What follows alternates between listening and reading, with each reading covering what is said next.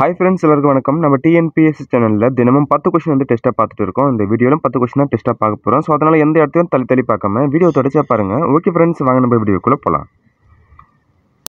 Question ஒன்று இந்திய அரசியல் சாசனத்தின் தந்தை.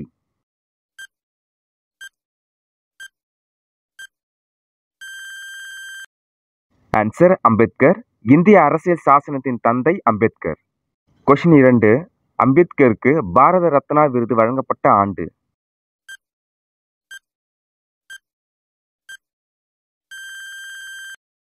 ஆன்சர் ஆயிரத்தி தொள்ளாயிரத்தி தொண்ணூறு. அம்பேத்கருக்கு பாரத ரத்னா விருது வழங்கப்பட்ட ஆண்டு ஆயிரத்தி தொள்ளாயிரத்தி தொண்ணூறு. அம்பேத்கர் அவர்கள் ஆயிரத்தி தொள்ளாயிரத்தி ஐம்பத்தி ஆறுல இயற்கை எழுதினாரு. அவர் இயற்கை எழுதி முப்பத்தி நான்கு வருடம் கழித்து தான் அவருக்கு பாரத ரத்னா விருது வழங்கப்பட்டது.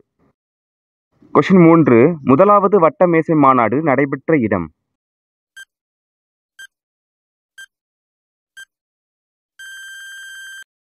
ஆன்சர் இங்கிலாந்து. முதலாவது வட்டமேசை மாநாடு நடைபெற்ற இடம் இங்கிலாந்து. கொஷின் நான்கு. ஒடுக்கப்பட்ட பாரதம் என்னும் இதழ் தொடங்கப்பட்ட ஆண்டு.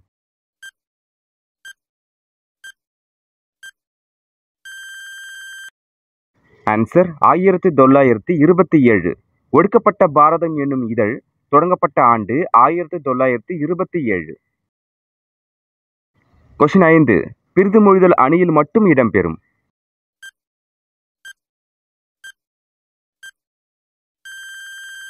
ஆன்சர் உவமை. கான்செப்ட் என்னன்னு பார்த்தீங்கன்னா பிரிது மொழிதல் அணி.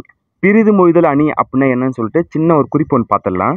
புக்கில் இருக்கிறத அப்படியே பார்த்தோம் அப்படின்னா கொஞ்சம் பெருசாகிற மாதிரி இருக்கும். அதில் இருக்கிற கருத்தை மட்டும் சொல்லிடுறேன். உவாமையை மட்டும் கூறி அதன் மூலம் கூற வந்த கருத்தை உணர்த்துவது. இப்போ உனக்கு தெரிஞ்ச நண்பர் வந்து இருக்காரு. அவருக்கு வந்து உடல்நிலை சரியில்லை. ஏன் உடல்நிலை சரியில்லைன்னு பார்த்தீங்கன்னா அவர் வந்து சரியா சாப்பிடாம அவர் உடலை பார்த்துக்காம இருக்கிறாரு. ஸோ அதனால அவருக்கு உடல்நிலை சரியில்லாம ஆயிடுது. நீங்க வந்து அவரை பார்க்க போறீங்க அப்படின்னா ஒரு உதாரணமா ஒன்று சொல்லுவீங்க. சுவர் இருந்தால்தான் சித்திரம் வரைய முடியும். நண்பர் வந்து அந்த கான்செப்டை புரிஞ்சுப்பாரு. எடுத்துக்காட்டு திருக்குறள் ஒன்று இருக்கு பாருங்க. கடலோடா கல்வல் நெடுந்தேர் கடலோடும் நாவாயும் ஓடா நிலத்து. அதாவது நிலத்தில் ஓடும் தேர் கடலில் ஓடாது கடலில் ஓடும் கப்பல் நிலத்தில் ஓடாது. இந்த திருக்குறளை வந்து உவாமையை மட்டும் சொல்லியிருக்காங்க. இந்த திருக்குறள்ல பிரிது மொழிதல் அணி வந்து இடம்பெற்றிருக்கு. உவாமையை மட்டும் கூறி அதன் மூலம் கூற வந்த கருத்தை உணர்த்துவதுதான் பிரிது மொழிதல் அணி. பிரிது மொழிதல் அணியில் மட்டும் இடம்பெறும் எனது உவாமை. கொஷின் ஆறு இரண்டு பொருட்களுக்கு இடையே உள்ள ஒற்றுமையையும் வேற்றுமையையும் கூறுவது டேஸ் அணி.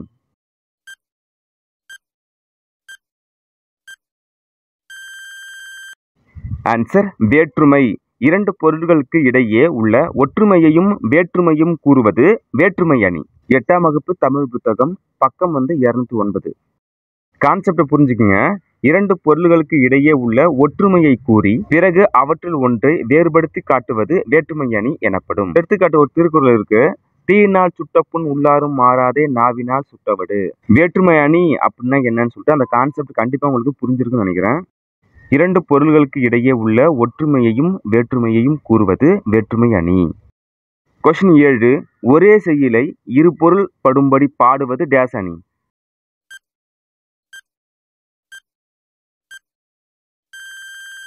ஆன்சர் இரட்டுற மொழிதல்.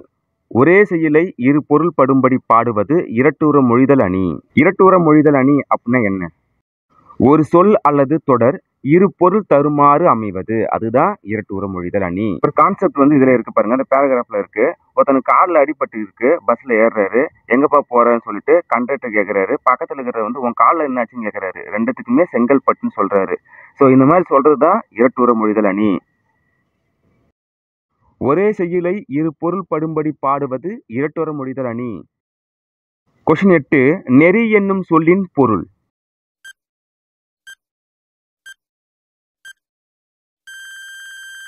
ஆன்சர் வழி நெறி என்னும் சொல்லின் பொருள் வழி கொஷின் ஒன்பது.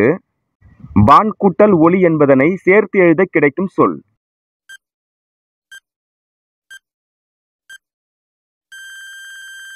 ஆன்சர் வானொலி. வான் கூட்டல் ஒளி என்பதனை சேர்த்து எழுத கிடைக்கும் சொல் வானொலி. கொஷின் பத்து. நாமக்கல் கவிஞர் என்று அழைக்கப்படுபவர்.